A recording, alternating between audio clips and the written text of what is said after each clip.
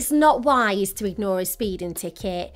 It would land you in all kinds of legal and financial trouble, and it could even cost you your driving licence. Before I go into how you could be penalised, you need to understand the process of getting a speeding ticket.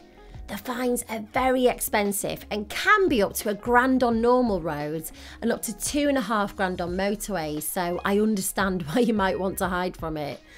You can either be served a notice of intended prosecution in person by the police or it might land on your doormat within 14 days of the offence. When you're landed with your notice of intended prosecution, you've got 28 days to fill out the form that's attached telling the police who was driving at the time. It's a legal requirement and you could face prosecution if you fail to send it back in time. The NIP should arrive within 14 days of the offence, but if it arrives later uh, than 14 days after the offence, the police may not be able to prosecute you, but depending on the circumstance, exceptions can be made. Once you've replied, then it becomes a fixed penalty notice. You have two choices with your fixed penalty notice. You can either file a guilty plea and accept the fine and points, which means you've got 28 days to pay, or you could file not guilty and attend court. If you do decide to go down the court route, I strongly recommend that you get representation.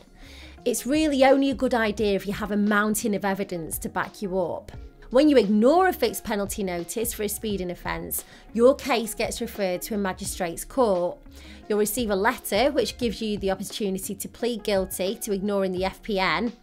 As a result of pleading guilty, you'll be liable for a heavier fine with added court costs. If you plead not guilty, further action could be taken against you.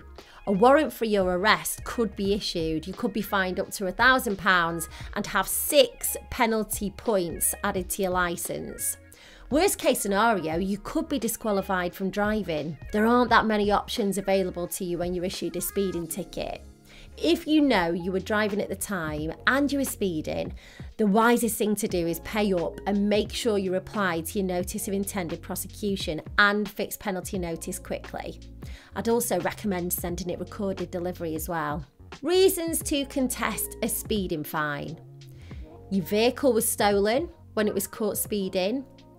You were not the driver when the FPN was issued. There were no speed limit signs on the road you were travelling on. The chances of a successful appeal are very slim. 1% of speeding fine cases go to court and only half of those win. But if you're still wavering and think you could be in with a chance, it's best to get legal representation. A quick and easy way to get a professional opinion is by chatting to an online solicitor like JustAnswer. For a £5 trial, you can ask all the questions you need. It could save you a lot of money on legal proceedings. I'll leave you a link in the description, and if you use it, you'll be supporting my channel, so thank you.